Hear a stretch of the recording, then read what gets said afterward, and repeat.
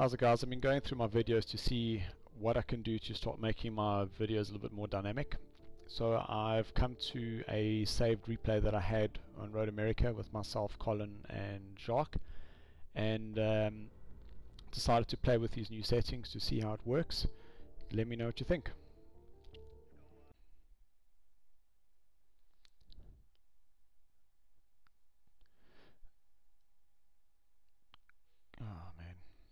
We're driving on board with Colin as we head into that first corner. And that replay of me is extremely weird because it just looks like I'm floating in the middle of nowhere.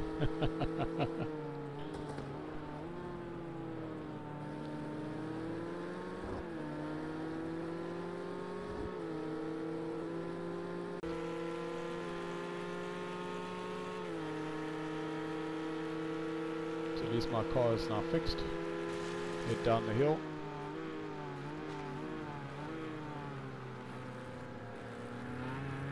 Pulling a bit wide onto the power.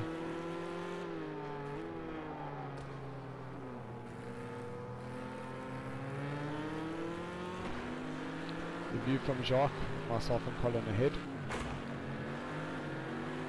Oh, and he bends it into the wall. Didn't expect that.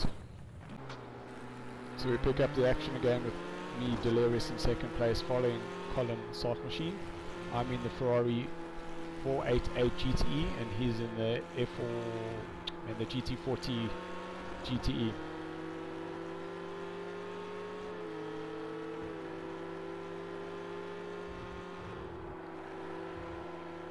I didn't have the confidence to go flat out through there. I just felt that every time I did, I would just wash out into the grass.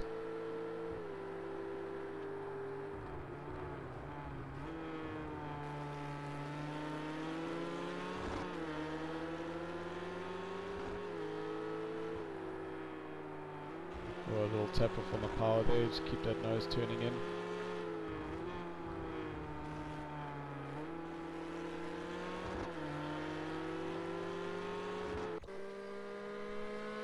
Great shot of the GT40 and the Ferrari going past here on the main straight.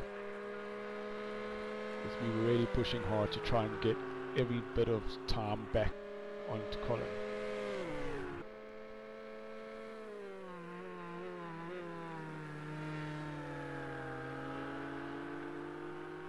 So this is lap 2 of a 3 lap race and I was very surprised to see how low that GT40 really is compared to the Ferrari.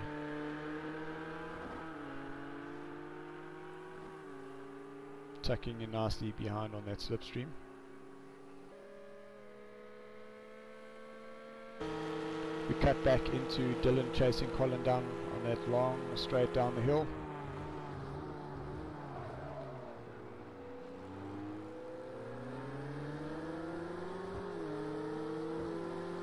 Colin, I can hear him on my left hand side there is. Oh, I didn't expect him to be so close. Sorry about that bump, Colin.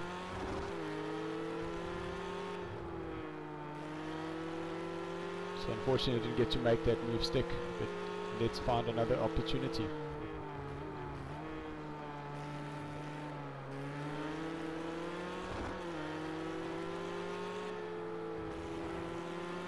Oh, he's a bit slow into that corner almost brake checked me.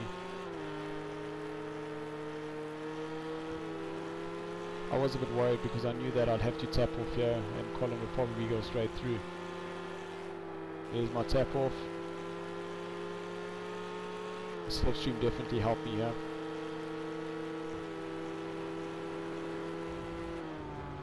Come on the brakes a bit earlier.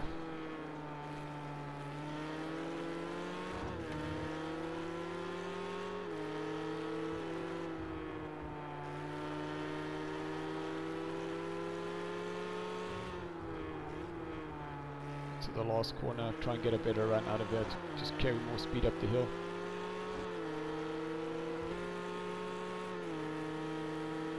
Great shot of that GT40 with the Ferrari in tow.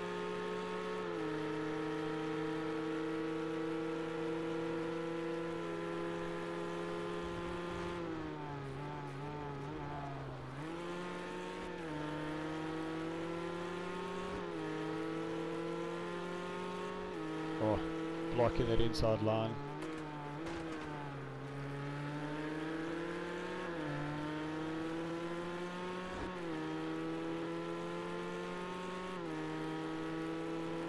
Let's see, did I get that slipstream coming down the hill? No, just too far.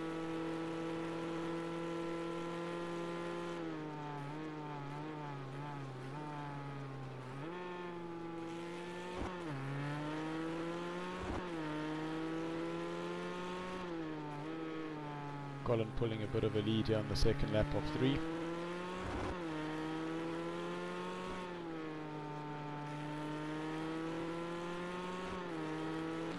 We cut back to Jacques in the Aston and shame it is not looking healthy at all. There must have been some damage there for Jacques as I honestly didn't mean to do that Jacques to catch you on a spin. Here the door. So it's at this stage I'm about 0.6 behind Colin. Last couple of corners to end this race. feel like I've got second in the bag but just not going to get that first. Unless I have a great braking zone at the end here. Hold on the brakes. Oh, I didn't get a penalty there, I was very lucky. Kept the pedal to the floor as I came around that corner. Laid on the brakes, turn in, power on a bit earlier than I would have. Then have an amazing drive out of that last corner. Get into the slipstream, move over and go for the place.